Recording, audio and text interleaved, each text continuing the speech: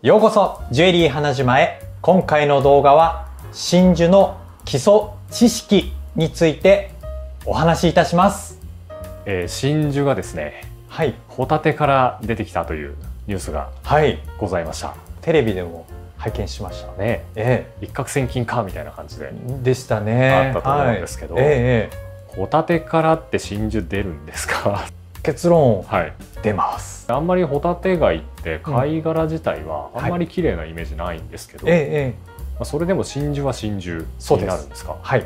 出てきます。今あのホタテはい。が例に出ましたけども、はい。基本的には二枚貝って言って、はい。こういうイメージでいいですはい。のものの中内側はい。がツヤツヤしているものは真珠ができるポテンシャルがある、ポテンシャルがある、はい、という認識で大丈夫です。なるほどアワビとかはい実際取れます。アワビって二枚貝じゃないですよねあ、まあ今ちょっとお話飛んじゃいましたけども、うんあのアワビも取れます。アワビも取れるんですか？取れます。確かにアワビははい食べ終わった後の貝の内側、はい、結構美しい。虹色になってますよねそうですそうです。あの感じでじゃあ玉が出来上がるんですねそうなんですよ。でそもそもあの、うんだいぶ基礎知識の今日話になるんですけど、はい、あの玉は一体何なんですか？すごくいいご質問をいただきました。真珠って思い浮かぶのっておそらくこう白っぽいのとかピンク色っぽいのとかだと思うんですけども主に取れる貝の種類はアコヤ貝って言います。アコヤ貝。アコヤ貝です。はい。はい。ちっちゃいんですよ。ミロのヴィーナスみたいなあんな大きいのじゃないです。ほうほこんなちっちゃい貝なんですよ、取れる方法といいますか、はい。取れる条件みたいのがありまして、うはい。あのホタテから出てきたって言ってなんでわーってなったかというと、うん。もちろんスーパーに売ってた確かホタテからだったと思うんです。ね。はい。その驚きっていう部分とおそらくなんですけども出てきたものが天然つまり人の手を介していない真珠だった可能性があるというところでまず業界にいる我々としては、はい。おおって思ったんですあね。なるほど。人の手を介してない真珠、はい、天然真珠って言います。じゃあ我々が目にしているものは何ですかっていうと、は養殖。養殖なんですね、カルチャードパールって言います。カルチャードパーはい、じゃあ天然真珠と養殖真珠ってルはい。根本何が違うのかっていうと、うんうん。先ほど申し上げた通り人の手を介しているかどうかはい。なんですね。イメージなんですけど我々人間ってこう焼き魚とか食べてるとはい骨喉にこう突っかかったりまあありますねありますよね。ね。はい。貝とって一緒なんですね。はい、生きてる貝がはい。海の中でこうパカパカしていると、うんうん。まあ、砂とか何か異物が入るわけですよ。はい。と基本吐き出すんですね。はい。ところが、まあ、何かしらのきっかけでそれが自己防衛反応でうん。取り入れちゃうことがあるんです。はい。その砂だったりそういった粒に真珠層が巻いてはい。真珠ってできていくんです。真珠層っていうのは何ですか？あ真珠の例えば砂粒の周りにはい。こう巻いていくはい。膜みたいいなものですね。膜みたいなもの、はいがうん層になってはい真珠って形成されてるんです。あーなるほどはい、例えばその砂粒、はい貝にとっては邪魔みたいな感じ、そうです。だからその異物としてうん邪魔じゃないもの、うんなんか自分から出る分泌物で覆ってしまおうみたいなそうですそうです。いう感覚なんですね。はい。その今のお話踏まえてもう一つキーワードとして、えー出てくるのが街頭膜っていう。街頭膜はい。あの貝の絵で見るとこう周りのひだみたいなものなんですけども、はいこれがプチッと切れて、まあ、砂みたいなものに付着してはい。おっしゃられるより自分のその外的なもの傷つけるものではなくて、内的なものに変換をしてはい。こう袋作るんですよ。それがこう成長していって真珠っていうのができます。そして養殖というのはその、まあ、異物が入るっていうはい。ことを人間が手伝うっていううんうん。イメージです。あの核と言いまして、はい、まあ、細胞の核みたいなああそうですそうです。はい。はい。あの核と言われるものを、はい。その先ほどお話した街頭膜っていうものを、はい。切断してえちっちゃい一個の辺にしてえはい。それを核の上にピッてくっつけて、はい。それを貝の中にグリッて入れる。ああなるほど。はい。はい。基本1個のアコヤガに対して1個の核はい。という認識で大丈夫です。これが養殖の、まあ、核入れっていうんですけども、えあの大事な作業の一つになります。はい。じゃあその角ってじゃあ何なの？っうんうん。て思うじゃないですか。はい。ビー玉入れてるんですか？はい。違います。貝です。貝入れてるんですか？貝を入れてます。へ貝の貝殻。えはい。種類で言うとドブ貝っていう。ドブ貝？あ、はい。違う貝の？そうですあそうなんだ。これなぜかというと、はい。厚みがあって色味が白いっていうことではい。あのアメリカのミシシッピ川とかにはい。生息するドブ貝を使うんです。あそれを使うんですね。で6工程ぐらいかけてはいあの丸くしていくんですよ。へえそういう研究っていうのはいつぐらいから行われてるんですか？あもう素晴らしいご質問なんですけどもあのおそらくパッと今名前浮かぶのってはい。三木本さんそうですね三木本さん。はい三木本幸喜さんなんですけどももともとうどん屋さんの息子さん。え全然違うことやってるんでらしいです。でなぜ彼がそういうふうにその道を選んだかというと、うん。まあ、その当時から真珠というものが高値で取引されてた。はい。そうなんですね。でそこで正気を見つけて、はい。これがもし作ることができたらということであのまず取り組まれたそうです。おその時はまだ養殖っていうのは養殖といういう概念はあったかもしれないですけど、成し得なかったっていう。はい。すごく大変だったそうです。ただ三木本さん自身も深淵をまずできたわけではなくて、はい。まずは半淵、はい。はい、そこが成功して三木本さん以外のもういろんな方の H の塊が今我々が見ているあの真珠になります。丸いものになったと。そうです。そうなんだ。そうなんです。ですので一つあの面白い面白いあのエピソードとして残っているのはですねはい。ヨーロッパのかつての王政時代というんですかね、はい。絶対王政じゃないですけどもああいった時代には海に潜ってうん。その天然の真珠を取る仕事があったんですで1日、まあ、1,000個ぐらいうんこう貝を取るそうなんですけど、うんはい。そのうち取れるのってはい。1個か2個ぐらい。ガチャだ大変なんです、だからこそ、はい。なんでしょうねこう権力の象徴うん。だったりとか、まあ、輸出産業としてものすごい真珠天然真珠って地位が高かったんですよね、はい。とそういったヨーロッパの文化があります。そこに三木本さん何したかっていうと養殖真珠できました持ってったんですよね。はい。もう大ブーイングですよ。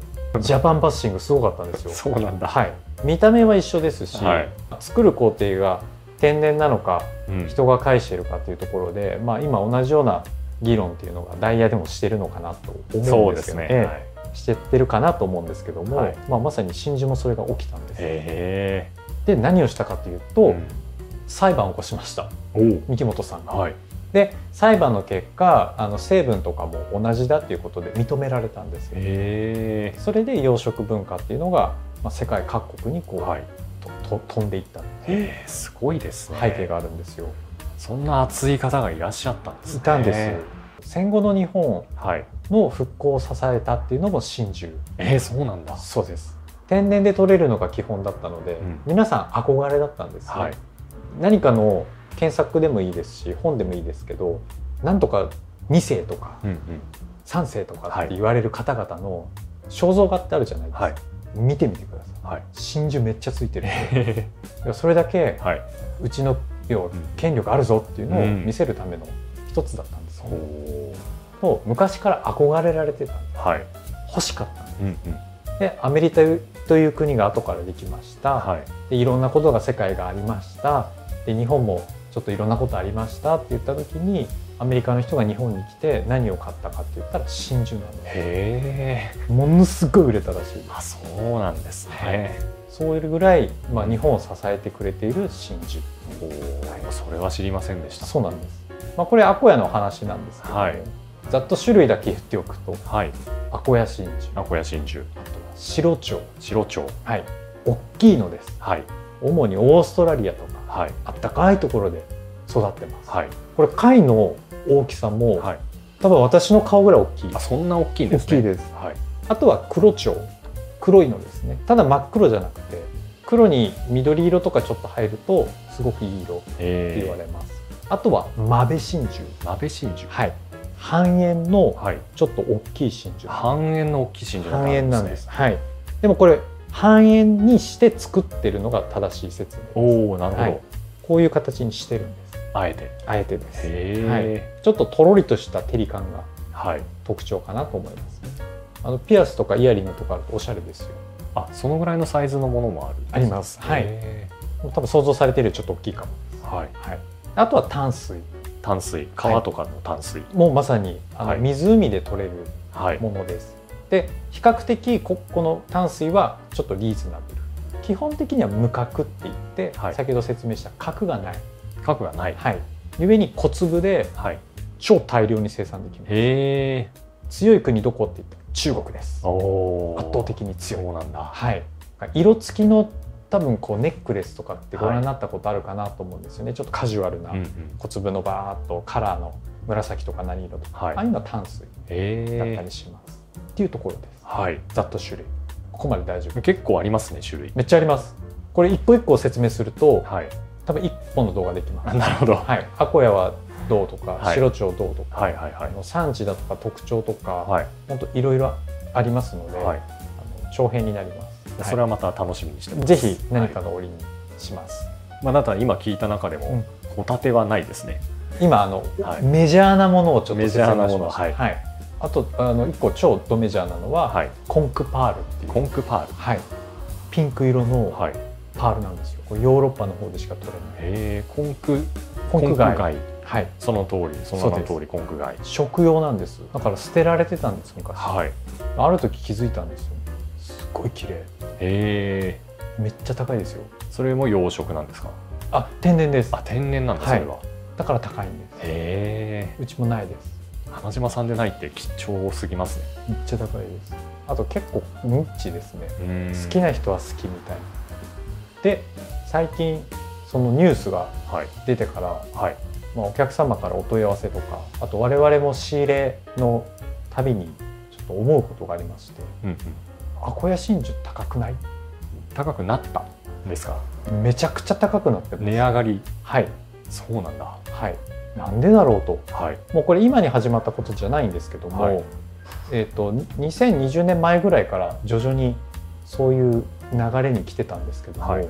ななんで高くなってると思いますえ国内で養殖が盛んなんですよね。すごく盛んです日本は。であればあんまり円安とか関係ないのかなと思ってしまうんですけど、はい、なぜ高くなっているのかはい需要が増えているから。需要は増えてますね。あの素晴らしいです、特に海外はい。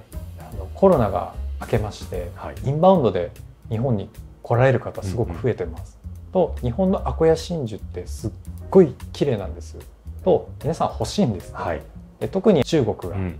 大量に買っていってくださっている。はい。と比例して結構その海の状態とかも今変わってるみたいで。海水温とか。そうです。それによってアコヤ貝のまあ違いっっていうんですけども、大量にまあなくなってしまった、えー、違いって子供ですね。そうです。はい、ゆえにないんですよね。新しい子が。なるほど、はい、だいたい一つ養殖で育てるのに半年から早いものですよ、はい。早いもので半年からだいたい3年ぐらいえー、かかるんです、結構かかるんですね。かかるんです。手間かかるんですよ、毎日じゃないですけどもアコヤ貝にフジツボついちゃったりとかして、はい栄養持ってっちゃうんですよ。うん、あそうなんだ。そうなんです。だからそれ取ってあげなきゃいけない。へで船出す燃料代もいります。ー、はい。もう清掃代。はい、であとは採取するまでにうん。浜揚げっていうんですけども、はい。まあ半年から3年かかるっていうと結構長期です、そうですね。はい、結構大変なんですね。大変なんです。ですのでその育てる方も減ってる。うん。だからすごく高くなっちゃってるんですね。ということです。ついこううん真珠とかを見るとなんかいっぱいあるものだっうん。て思っちゃうんですけども、はい。実はまあ天然はすごくもちろん希少ですけども養殖に関してもたくさんの愛情をかけた、うん。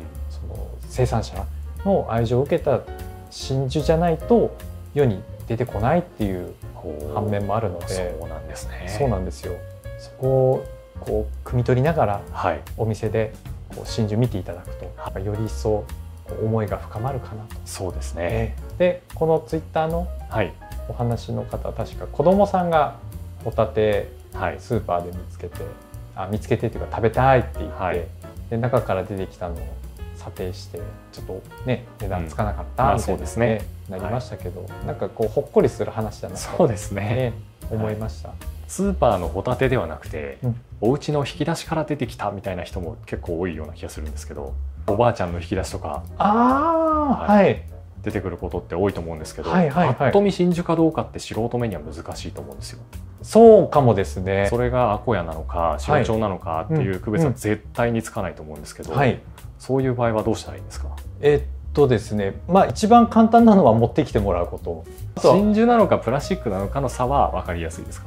えっと我々は分かります。はい。パッと見てただ慣れてない方難しいんじゃないですかね。そのぐらいうまいんですよ。あの持った時に重いとか軽いとかって、はい。